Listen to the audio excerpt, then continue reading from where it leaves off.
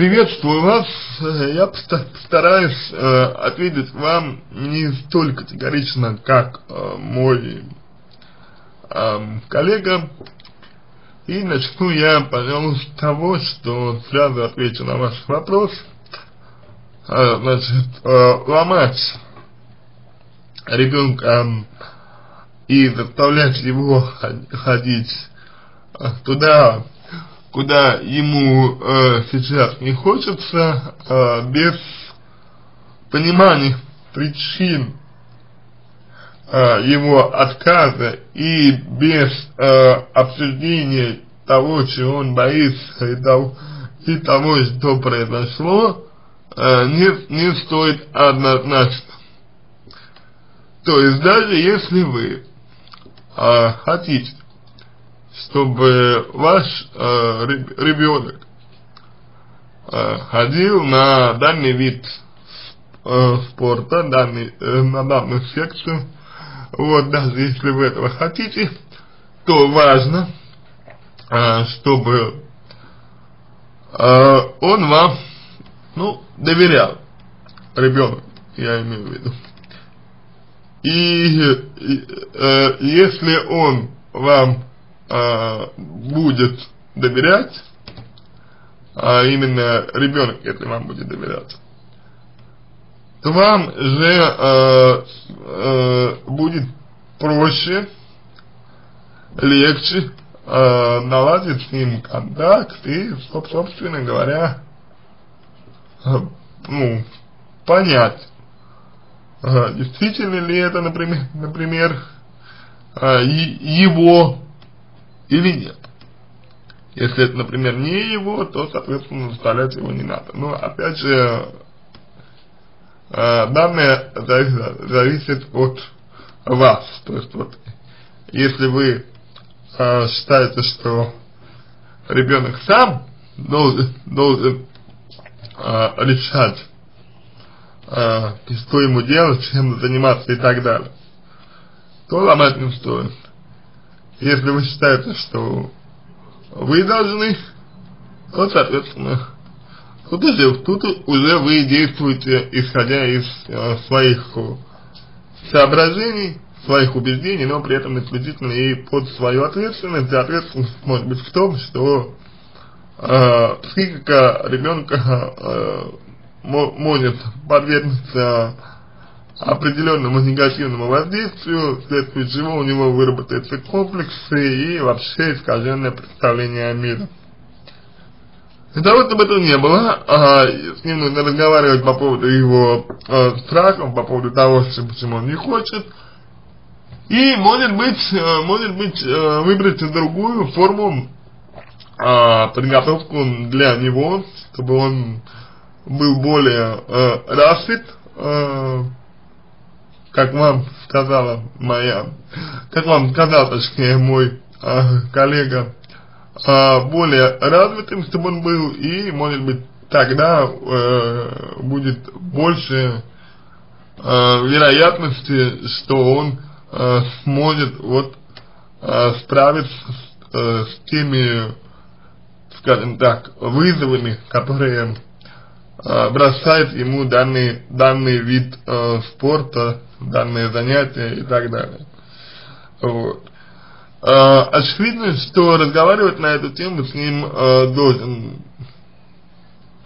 папа, папа, а не вы, а, потому что э, мужчина легче подберет э, слова э, в данном аспекте, Тогда как вы, если будете об этом говорить, то э, вы рискуете, ну, или ребенка неправильно понять, или не дать ему э, соответствующей обратной связи, просто вот в силу того, что вы женщина. женщина.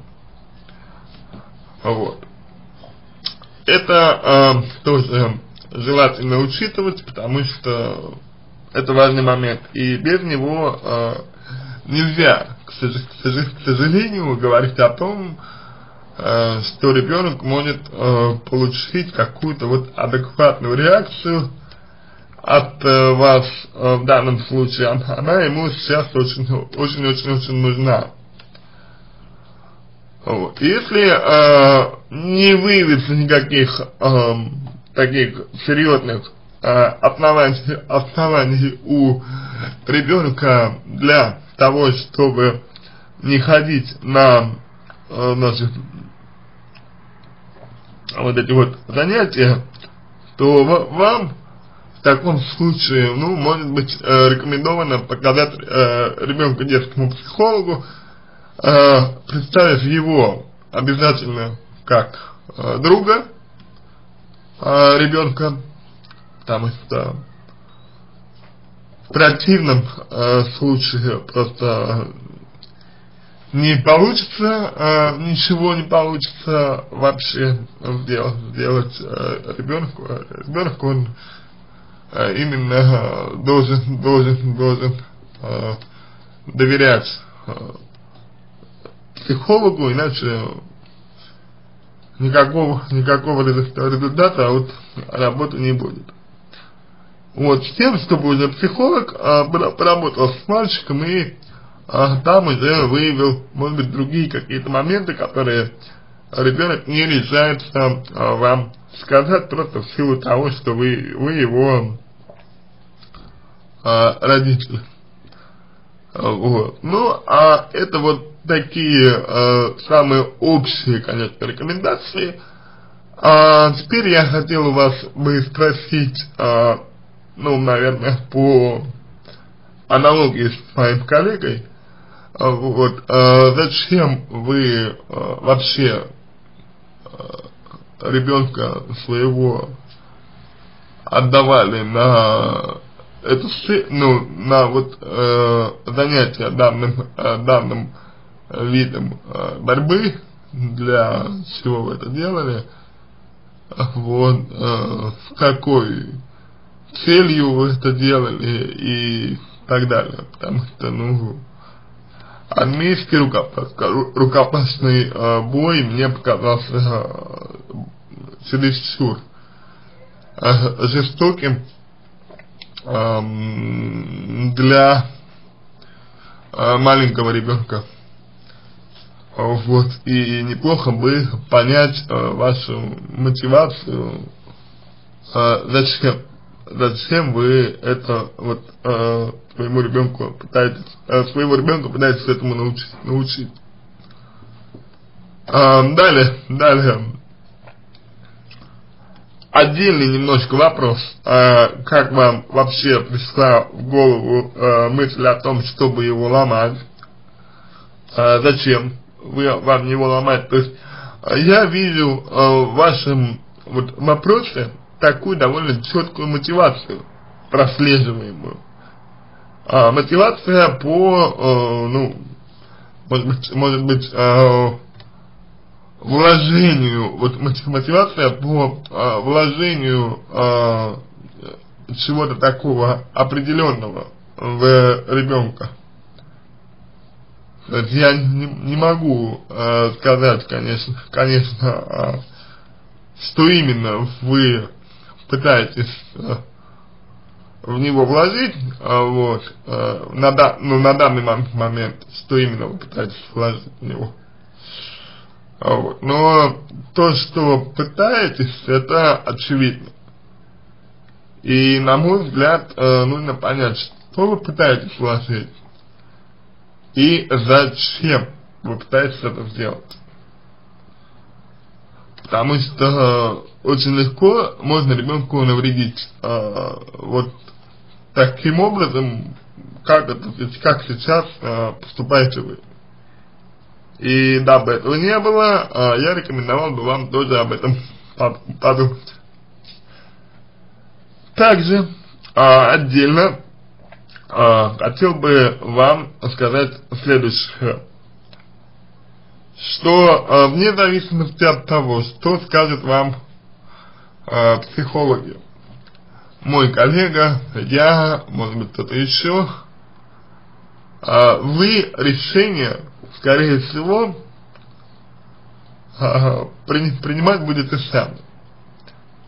Ну, просто, опять же, потому, потому что, как бы, я уверен, что так было всегда, и э, вряд ли вы, вы э, будете в дан, данном случае как-то как вот э, по-другому, э, как-то вот иначе э, поступать. И надо сказать, что это нормально. То, что вы делаете, то, что вы хотели бы сделать, это нормально. Совершенно. Вот. Просто мне бы э, хотелось, чтобы вы отдавали себе отчет в том, что вы, что вы дел, делаете. Вот. А для чего отдавали себе отчет? В том, э, для того, э, я хотел бы, чтобы вы отдавали себе отчет, э, для того, чтобы понимать, к чему вы хотите прийти ага, по отношению к ребенку.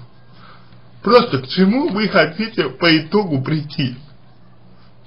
Что вы хотите увидеть, например, а, в, в конечном итоге у ребенка и для чего. Вот это, а, пожалуй, важный момент. Потому что, ну, допустим, вы его сломаете, э, ребенка я имею в виду, и, э, например, заставите его все-таки э, пойти вот на э, эти занятия, да, э, даже несмотря на его нежелание. Ну, можете вы так сделать? Можете. Э, будет ли это ему на пользу? Ну, в некоторой степени, может быть, он научится, научится а, преодолевать трудности, преодолевать страх и так далее. Но, в этом есть и другая сторона. Он может, э, например, начать чувствовать себя еще более плохо, и это может повлечь за собой еще более негативные модели поведения с его стороны. И вам нужно это учитывать что такое может быть. И необходимо быть, а, на мой взгляд, а, к этому просто-напросто готовыми. То есть я хочу, чтобы вы а, были готовы к возможным последствиям того, что может произойти. Вот, в принципе, а, то, для чего я вам а, все вот это вот говорил. Это то, почему я хотел, а, чтобы, чтобы вы а, все это, ну, а, послушали. Я, хот, я хотел, чтобы вы, это а, поняли для себя, увидели, уяснили и определили после этого, а, важно ли это вам или нет. Потому что если важно, если важно, то делать так не стоит.